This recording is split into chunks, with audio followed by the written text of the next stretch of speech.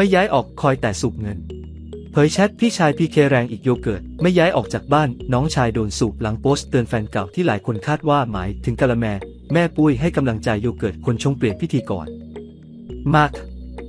ไม่จบง่ายๆเสียแล้ว เรื่องนี้ปมเลิกราพิธีกรดังพีเคปิยวัฒน์กับอดีตภรรยาโยเกิร์ต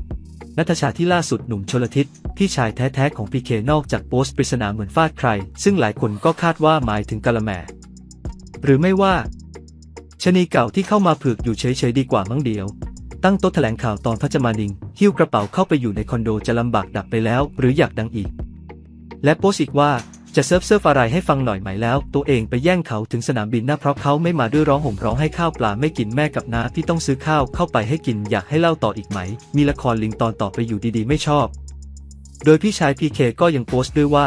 ไม่ได้มีปัญหากับอดีตน้องสะใภ้ขณะที่ยังมีประเด็นร้อนระอุเผยแชทจากฝั่งพี่ชายคุยกับเพื่อนประมาณว่าน้องชายของตัวเองโดนสูบและทางฝ่ายโยเกิร์ตอดีตภรรยายังไม่ย้ายออกจากบ้านด้วย ขณะที่แม่ปุ้ย TPN หรือปุ้ยปิยาพรผู้บริหาร TPN ได้โพสต์ ให้กำลังใจเพื่อนหญิงพลังหญิง ให้โยเกิร์ตเดินหน้าต่อด้วยงานนี้มีคอมเมนต์ให้แม่ปุ้ยเปลี่ยนพิธีกรมาไปเสียเลยบ้าง ก็บอกเข้าใจเรื่องส่วนตัวกับเรื่องงาน แต่เรื่องส่วนตัวกระทบความรู้สึกคนเยอะกับพิธีกรคนนี้ไปแล้ว